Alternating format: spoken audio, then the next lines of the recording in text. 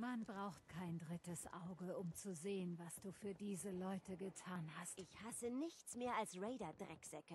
Ja, Momo Leute, euer Zero hier und herzlich willkommen zurück zu Let's Play Fallout 4. Und äh, ja, man braucht kein drittes Auge, um zu sehen, was ich getan habe, denn ich habe eine Plattform für meine äh, Leute entwickelt, die jetzt runtergehen alle. stimmt. Sei lieber vorsichtig. Ich kann Sachen reparieren. Bei Leuten ist das aber schwieriger. Und äh, wie ihr seht, ähm, soll das quasi die neue Siedlung werden. Ich habe jetzt äh, hier eine Leiter hingesetzt, damit man hoch und runter gehen kann. Äh, momentan muss ich dazu sagen, ich bereue es ein bisschen, die Leiter hingestellt zu haben. Aber die müssen ja auch arbeiten gehen, um Sachen anzupflanzen und so weiter und so fort. Ähm, das alles hier ist ein bisschen provisorisch hingestellt. Hier habe ich die ganzen Betten hingestellt für meine Jungs.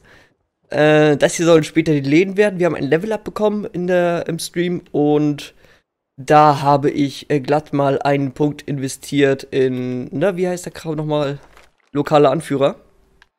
Heißt, wir sind jetzt ein Level äh, vorangeschritten seit gestern, weil wir sehr viel gebaut haben, haben wir ein ganzes Level gemacht.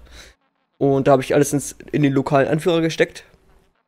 Damit wir Läden bauen können. Und äh, als ich die Läden fertig hatte, habe ich festgestellt, ha, ich habe keine Siedler dafür. das heißt, wir müssen noch warten, bis wir Siedler dazu haben. Äh, wir haben acht Leute. Ich würde gerne auf äh, zwölf gehen am besten. Und äh, hier wird dann demnächst in den nächsten Streams äh, ein, ja, eine Siedlung entstehen. Hier auf diesem sehr kahlen Fleck.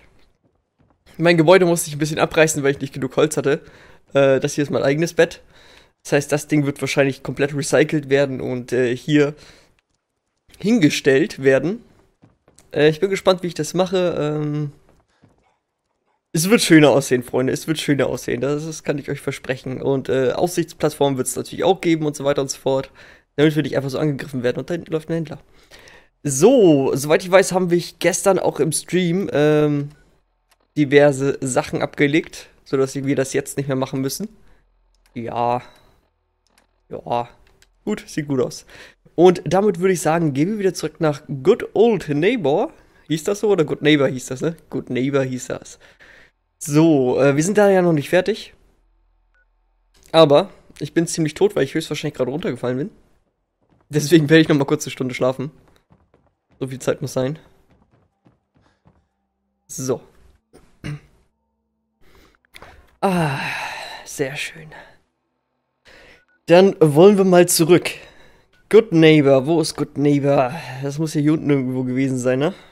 Good Neighborhood. Oder Good Neighbor. Da werden wir uns heute noch mal ein bisschen umsehen, bevor wir rausgehen und äh, den nächsten Teil der Radiosendung anhören. Äh, wobei, das können wir eigentlich jetzt schon machen. Ich meine, wir gehen ja sowieso ins Lagerhaus rein und äh, bombardieren die da ein bisschen. Von daher dürfte das eigentlich gar kein Problem sein, dass wir uns mal die nächste Sendung anhören, ne? Wie die Geschichte weitergeht. Ähm, ich weiß, dass der Lagerraum, den wir betreten haben. Genau, das war der hier, ne? Oder war es der hier? Ein von beiden. Naja, hören wir uns erstmal die Radiosendung an, ne?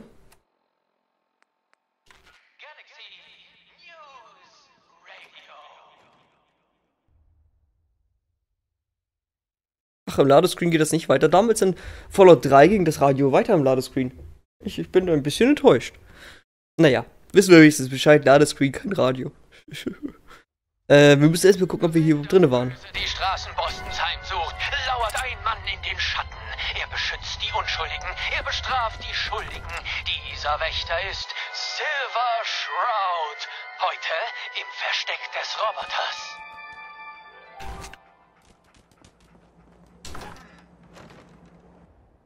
Ja, im Versteck des Roboters äh, hören wir uns jetzt mal an, aber äh, seltsamerweise ging das gerade im Ladescreen, jetzt nicht mehr. Hm? Ein bisschen seltsam. Das waren alle. Wir haben die Mafia-Bots von Fetzak Fehi zurück in die mechanische Hölle geschickt, die sie ausgespuckt hat. Ganz richtig, mein hitzköpfiger Held. Und Scheiße, nein, wo kommt sie das denn waren her? höllische Roboter. Ja, aber nicht die von Fettsack Fahey. Er selbst hat es uns ja erklärt. Jemand anderes ist in Wahrheit... Der Meister hinter all dem. Du hast recht. Aber wer? Werteste Herrin der Mysterien, wir beide kämpfen seit Jahren gegen die Schurken von Boston. Das hier ist jemand, den wir noch nicht kennen. Bam, bam, bam. Gewiss. Aber welcher kriminelle Könner hat das Dumme weitreichende. Wissen zum Bau solcher Uhrwerk-Unholde? Ich weiß nicht. Okay, die Radios sind gestoppt einfach. Ihr wisst gar nichts. Hast du recht. Aber ich, ich schon. Und ich werde es euch auch verraten. Unter einer Bedingung. Bei den Schattenstraßen von bist Southie. eine prima Einer der Köpfe der Mafia-Bots kann noch reden. Worauf du ein Last kannst. Äh, ich spüre meine Beine nicht mehr, äh, weil du mich echt zerlegt hast, Shroud. Aber mein, mein Mund, den habe ich noch, also verwende ich ihn auch, um euch zu sagen, wo der große Boss ist. Boss sagt Hallo. Und deine eine Bedingung. Ihr nehmt meinen Kopf mit, damit ich zusehen kann, wie ihr den Mistkerl erledigt. Und was hat er denn je für mich getan, hä? Okay, er hat mich erschaffen. Tolle Nummer. Ein Vater, der seine Kinder zum Strafen schickt. Ich werde dich erledigen und dann auf deine Leiche spucken. Ich spüre, dass dieser mechanische Missetäter die Wahrheit sagt. Soll ich... Mit deinem Schwert von Beste dem Mafia-Bot den Kopf abschlagen? Tu es. Ah, süße Freiheit. Danke, Puppe. Also raus damit! Wer ist dein Schöpfer? Welcher Marionettenmeister hält deine Kabel in der Hand? Sprich, du enthauptetes elektronisches Ekel! Ah, wo wäre denn da der Spaß? Das müsst ihr euch schon selbst ansehen. Los, Bewegung. Ab zum großen Lagerhaus unten Hättest bei dich nicht Pier mit uns 12. anlegen sollen. Gut, du amoralischer Automat. Los geht's.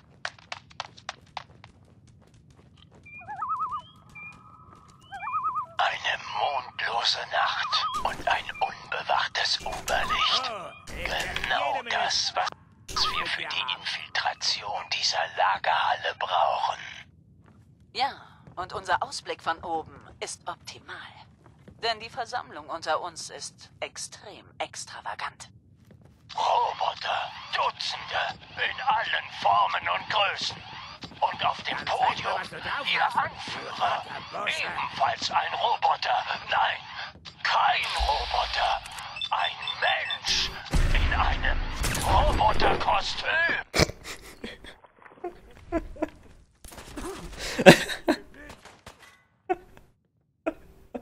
Klappe, ihr Dumpfbacken. Die Roboter hören verdammt gut. Wollt ihr das News erwischen? Hört jetzt gut hin. Der Boss hält eine Rede. Meine Roboterkinder, meine glorreiche Ich wundere Schöpfung. mich, Heute beginnt ein neues Zeitalter. So lange schon zerstört der menschliche Abschaum von Boston diese wunderschöne Stadt. Das Fleisch ist schwach, aber Stahl, Stahl ist stark. Ihr, meine Kinder, werdet eine neue Ära einläuten. Eine Ära der Roboter, angeführt von mir, eurem Vater, dem Mechanisten. Der Mechanist. Also hat das Böse tatsächlich einen Namen. Die Revolution beginnt heute Nacht, meine liebsten Nachkommen. Aber vorher begrüßen wir unsere Ehrengäste des Abends. Silver Shroud und die Herren der Mysterien.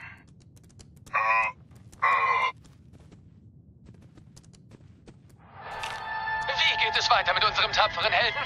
Nächste Woche findet ihr es heraus in der nächsten spannenden Folge von Silver Shroud. Oha. Äh, na gut, Freunde. Galaxy News Radio, ein hundertprozentiges Tochter. Ähm, ich habe vergessen, äh, oh, gedämpft. Ähm, meinen Ton lauter zu stellen.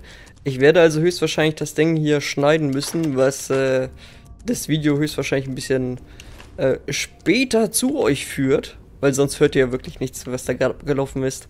Und ich muss den Ton unbedingt lauter stellen. So.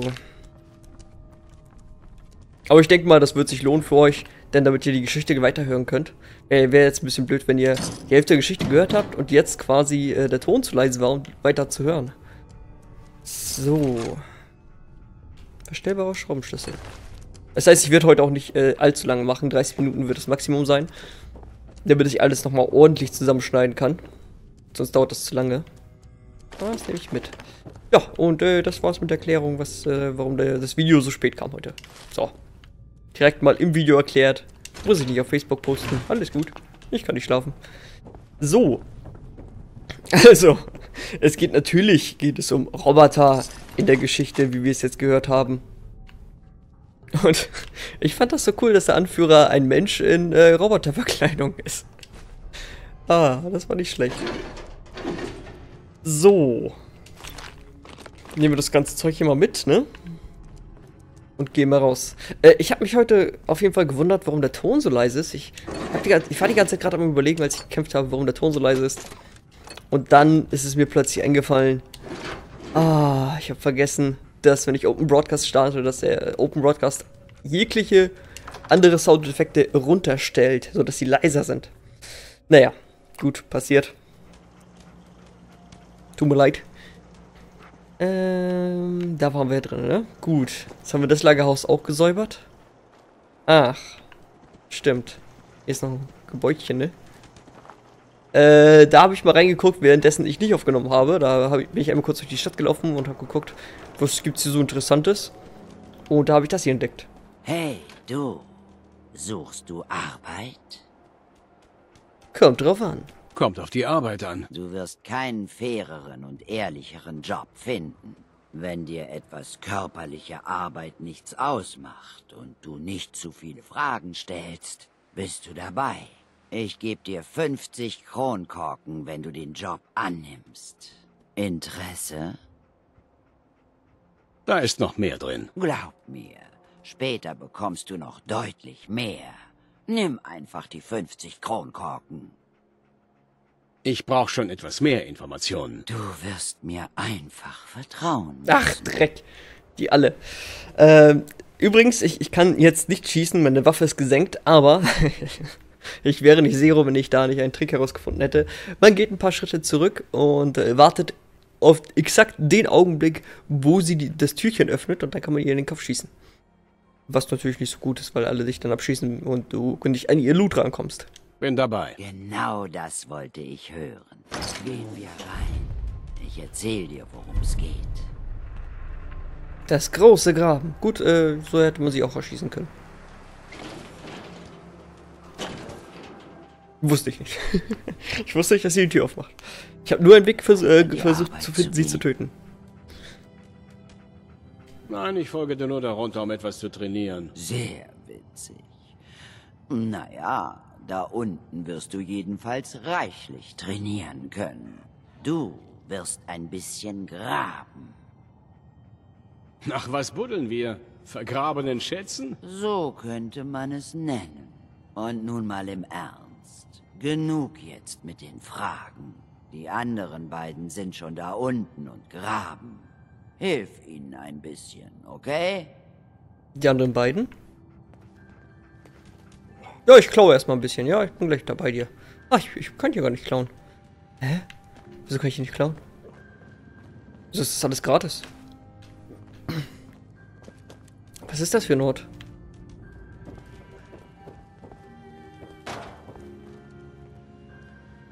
Bobby's Terminal. Ja.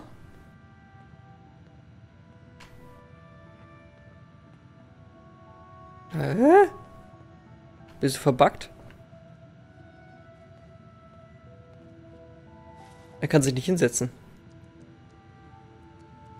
Das Terminal, es ist verbuggt, Freunde. Achso, das ist wahrscheinlich... Terminal irgendwo.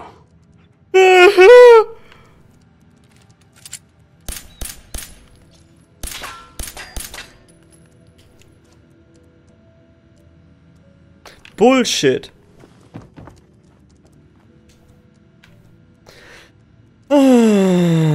Freunde, es ist grausam. Man kann sich hier nicht hinsetzen.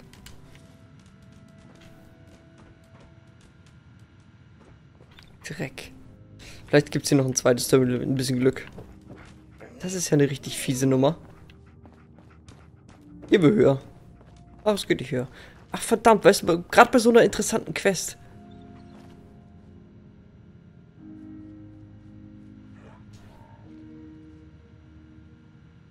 Kennt ihr diese Quest? Habt ihr auch das Problem mit dem Terminal? Naja. Gut, schade eigentlich.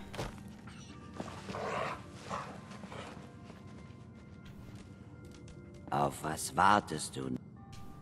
Ich gehe erstmal schlafen. Fang So. an zu graben. Auf Ja, was wartest du noch? Ja, ist ja gut. Fang an zu graben. Repariere lieber dein Terminal. Oh, danke, Köter. Danke, danke.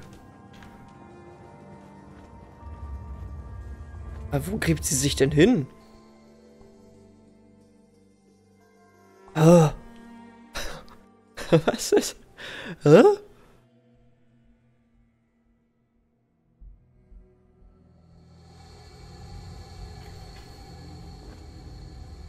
Hey, ich glaube, wir kommen endlich durch. Willst du sehen, was auf der anderen Seite ist? Ja. Meinst du, Bobby bezahlt uns diese Woche? Ich weiß es nicht. Wirkt langsam wie eine Wohltätigkeitsveranstaltung. Hast du was gehört? Da ist alles voller Meierlurks. Scheiße. Bobby kann sich den Auftrag sonst wohin stecken. Viel Glück da unten. Neuer.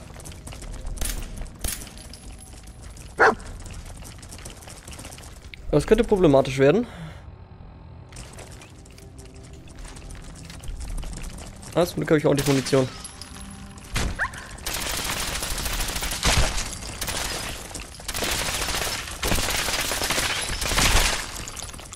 Für so einen Fall habe ich extra diese Waffe.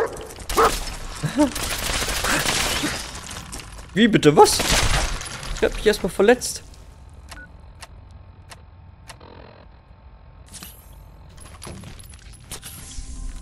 Ich habe ihn den Panzer weggeschossen. So, wie sehen die Majorlocks aus? Oh. Nicht so gut. Ohne Panzer. Würde ich glaub mal behaupten. Naja, okay. Gut, dass ich so viel Munition dafür gekauft habe. Aber trotzdem sollte ich sparen.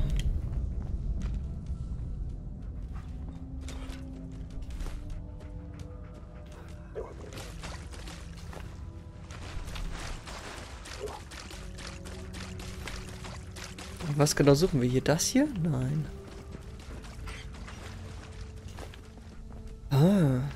Was will sie hier? Vor allem, wie kamen die Myrlocks zu, äh, zu irgendwas zu essen? Die waren hier eingesperrt, oder?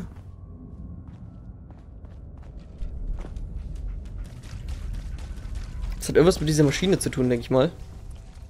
Hm.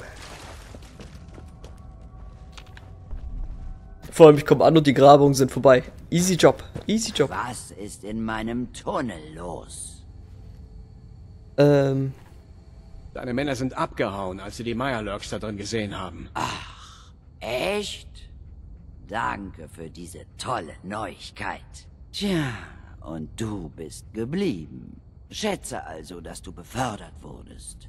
Du bist jetzt mein neuer Waffenexperte. Ich glaube, wir brauchen nur noch einen Typen. Ist ein alter Freund.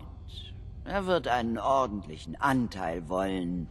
Aber wir haben ja gesehen, wo das hinführt, wenn ich beim Personal spare. Wer ist dieser Typ? Er ist genau der Richtige, um die Sache zu beschleunigen. Mag technische Spielereien, Geld und sonst eigentlich nichts. Zuerst solltest du aber sehen, auf was wir eigentlich aus sind. Ich muss ein paar Dinge in Diamond City erledigen. Geh rüber zum Nudelladen dort. Wir treffen uns da, wenn ich fertig bin. was ist. Hä? Hm? Ich. äh, Was? Ich bin verwirrt, Freunde.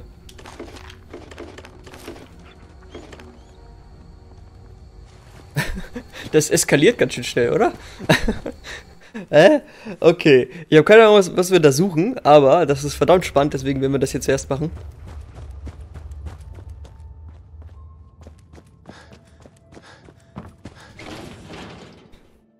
Was suchen wir da, Freunde? Was suchen wir da? So.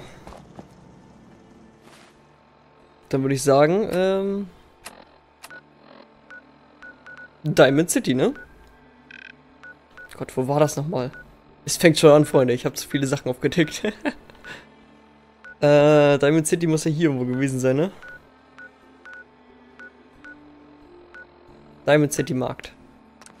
Dann bin ich mal gespannt, was die äh, Olle von mir möchte oder was, wen sie da mitnehmen möchte. Steht auf später rein. Vielleicht ein neuer Gefährte, den wir da freischalten? Mal wieder? Ach, übrigens haben wir äh, gestern im Stream noch äh, eine vergessene äh, Wackelpuppe genommen. Äh, die war in diesem großen Gebäude, Gebäudekomplex, wo ich die Drogen genommen habe, um den Typen zu erschießen. Auf einer Statue auf dem Kopf hat man im Video auch gesehen. Und das haben wir kurz geholt. Ja, ich bin hier und du? Was willst du damit sagen? Erzähl mir einen Witz. Nein, danke. Äh, Erschießt du Leute, Mister? Mein Papa sagt, dass fremde Leute erschießen. na, ich erschieß dich gleich. Na, siehst du's. Wo ist die Troller?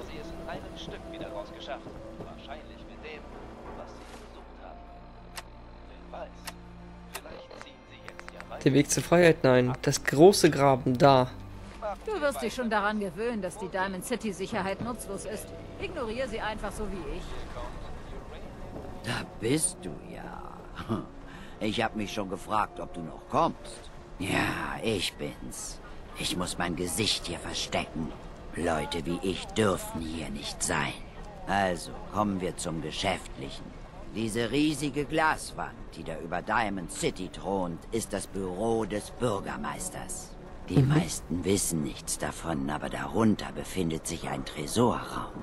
Der Bürgermeister hockt mittendrauf. Das ist unser Ziel. Der Typ hat es nicht anders verdient, wenn du mich fragst. So wie er meine Leute behandelt, hat er vielleicht noch was Schlimmeres verdient. Okay. Was ist da drin? Kronkorken, Medizin, Nahrung. Genug, um die Stadt am Laufen zu halten. Es sind Sachen, die wir wollen. Sachen, die jeder will.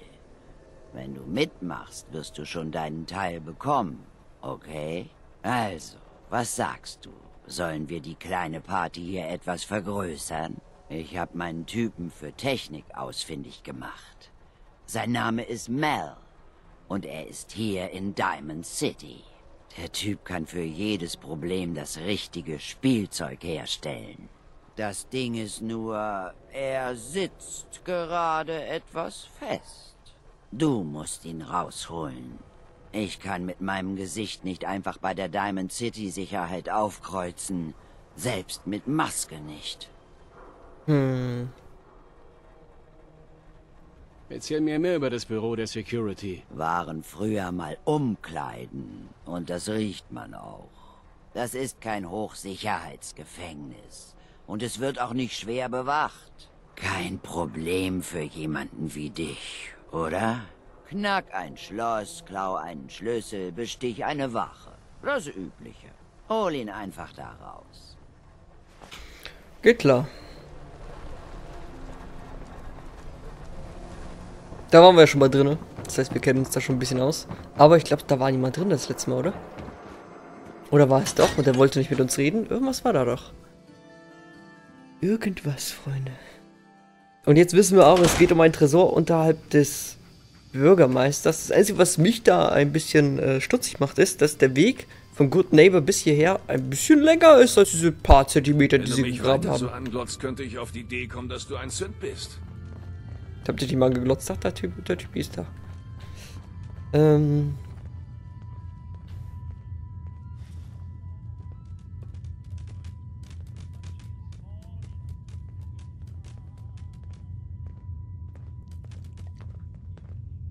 Ich guck mir nur die Lampe an, die ist schön hell. Was zum Teufel machst du da? Ich guck mir die Lampe an. Siehst du das nicht?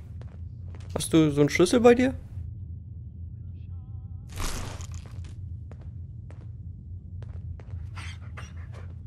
Wie bekomme ich ihn da raus? Moment. Du siehst aus, als könntest du einen Drink vertragen. Das Seht ihr das? hat gute Angebote. Da ist ein Terminal. Achso, für die Polizei. Mel hier. Kann ich dir helfen? Ich hörte, du wärst so eine Art Tech-Experte. Richtig gehört. Vielleicht ist Tech zu allgemein. Ich stehe auf Roboter. Nicht so wie du denkst. Aber ich komme gut mit Maschinen klar. Warum? Brauchst du meine Hilfe? Kommst du oft hierher? Es heißt doch, dass man ganz besondere Personen da trifft, wo man es am wenigsten erwartet. Also, warum bist du hier? Du willst was von mir, richtig? Ich werde dich da rausholen. Dann solltest du es aber nicht so rausschreien, dass jede Wache in Diamond City es hören kann. Was ganz anderes. Es gibt da hinten eine alte kaputte Protektron-Einheit. Ich sollte für die Wachen einen Blick drauf werfen, aber das war eine harte Nuss. Konnte nichts machen.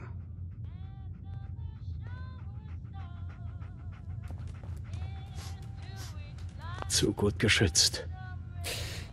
Ah. Mel, Mel hier. Kann ich dir helfen? ich werde dich da raus... Nein, ist gut. Ist gut. Ich sollte für die Wachen einen Blick drauf Äh. Es ist ein bisschen blöd, ne?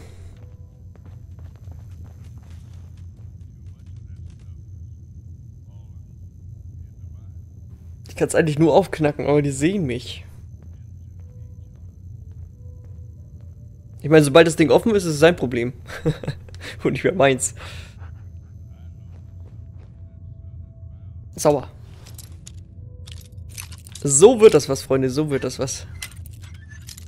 So, wir müssen auf jeden Fall noch mehr, ein bisschen- mehr an die Wissenschaft setzen für die Terminals. Äh. Äh. Ach komm. Egal, wir haben genug Haarklammern. Ich, ich mach mir da keinen Stress. Hm. Geschafft. Lass uns hier einfach verschwinden.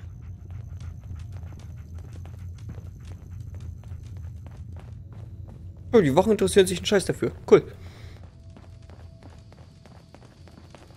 Somit haben wir unseren Sicherheitsexperten und mal gucken, was er damit so anrichten kann. Ich glaube, wir, wir fangen irgendwas mit dieser Maschine an. Kannst aber noch nicht so erläutern.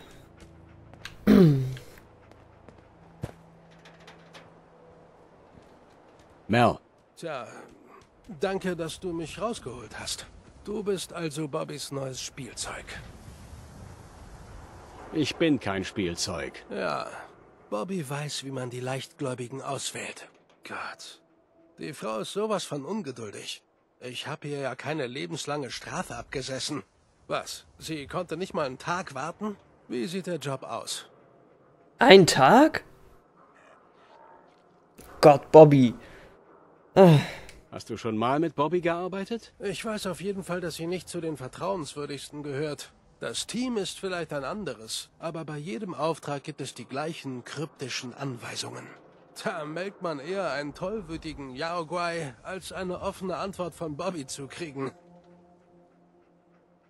Bobby kann dir die Einzelheiten erklären. Klar, weil ich auch so viel aus ihr rauskriege. Bobby ist zwielichtig, aber letztendlich bezahlt sie immer.